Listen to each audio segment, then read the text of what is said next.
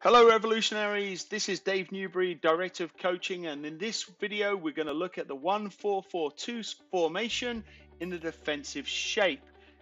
In the first video we are going to just play through a scenario with the goalkeeper rolling the ball out wide to the left back for the opponent.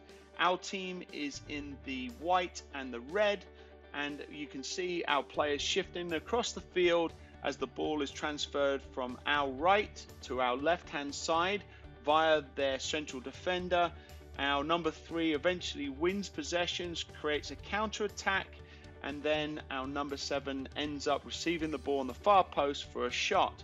Now let's look at some of the partnerships involved in this sequence. As the ball goes wide, the number seven is slow to put pressure on the fullback and allows the ball to be played uh, to the number eight in a deeper position. But look how well the number two gets close and puts pressure on the 8, forcing the ball back inside.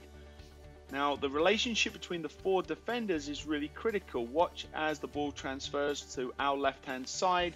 The number 3 gets closer to the number 7, and the number 4, 5, and 2 now shift across almost to the point where all of our team is on the left hand side of the field.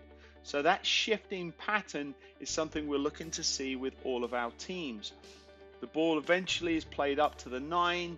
The 8 finds a great pass into the path of the 7, who has actually moved forward having been in a defensive compact shape. Now we're going to look at the role of the midfield players, the midfield four. We have the 11 now left hand side uh, midfield player, our number seven, our right hand side, and then we have the number six and number eight. Uh, pay particular attention to the role of the number six, who provides cover in front of the back four. Um, the number eight moves higher, but the number six tries to remain in a central position uh, in front of the back two defenders, the number five and the number four.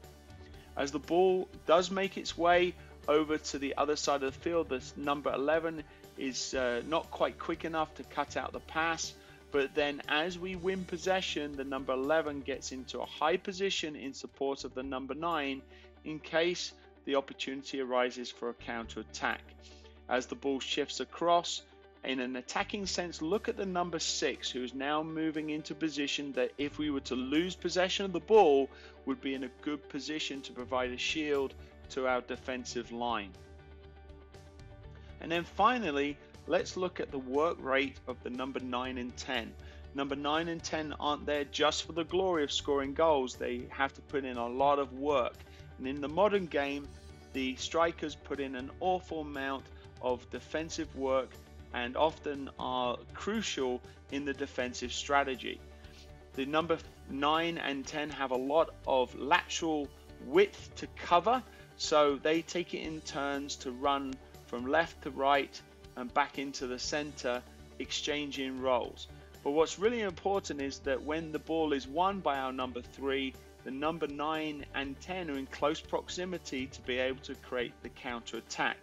If they were lazy and on the other side of the field, when we won the ball, we wouldn't have been able to penetrate going forward.